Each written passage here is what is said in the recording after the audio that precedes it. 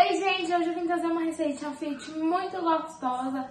É uma torta de frango, ela é low carb, ela é super rapidinha de fazer, no liquidificador mesmo se faz.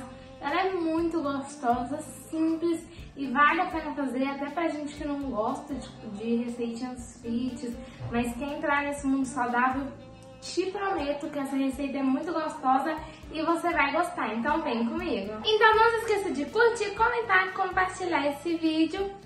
Então, vamos embora. Então, gente, para essa torta eu vou precisar de seis ovos, uma caixinha de creme de leite, uma xícara de queijo parmesão ralado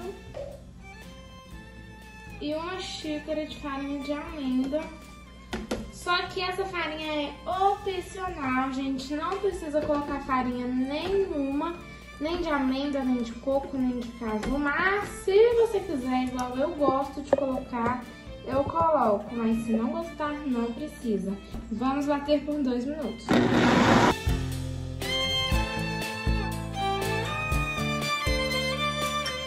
Gente, eu bati por dois minutos, agora eu vou passar ela pra cá.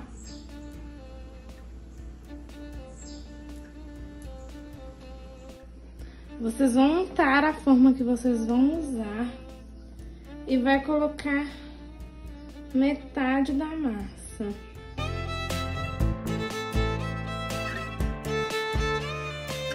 colocou mais ou menos metade da massa.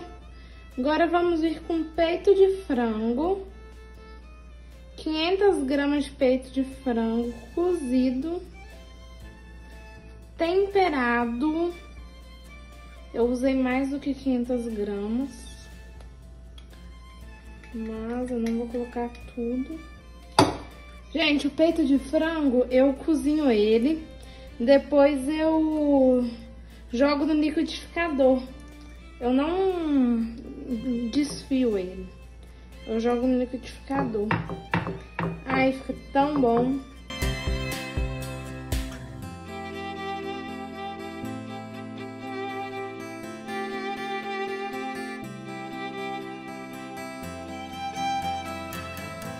E vou jogar o resto da massa por cima.